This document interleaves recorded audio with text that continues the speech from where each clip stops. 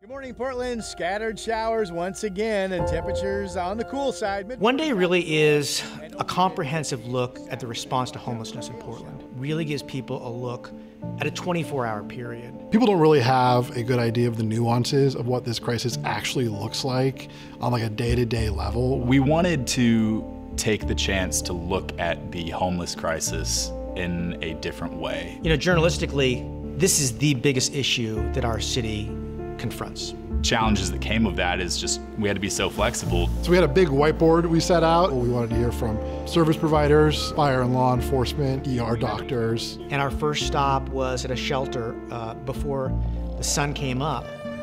Good morning, everybody. It's 5:50. Good morning. By six o'clock, I have to be out of here because I have to hurry up and go to work. I'm pregnant, I'm working, I'm clean. You know, I just want a nice, quiet place to sleep. But the reality is is that every day is so different. We just captured one day. And then the same day that we planned to shoot this, Joe Biden decided to visit town. Air Force One is landing as we speak at PDX. And just a half mile as the crow flies from where that base is, in one of the largest, most problematic homeless camps in Portland. We bring all these expensive, you know, cameras with beautiful, you know, like lenses and whatnot to get this beautiful shot. And in the end, you have to adjust on the fly and pull out your cell phone to get what was probably one of the more memorable shots we had in the documentary. One of the most gratifying things was that several of the women we featured who were homeless ended up using this to secure housing. After appearing in the KGW documentary One Day, Daria said someone helped pay her first and last month's rent. That's what she needed to get into an apartment. Tiana, who is the young mother with a child living in an RV. Yeah.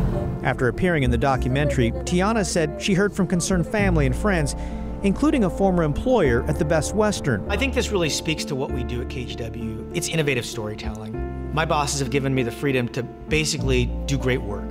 So I think people really reacted very positively to being able to see an aspect of the people dealing with this crisis that you can't just see when you drive by a tent on the street when people band together to help each other, we could get a lot done in one day.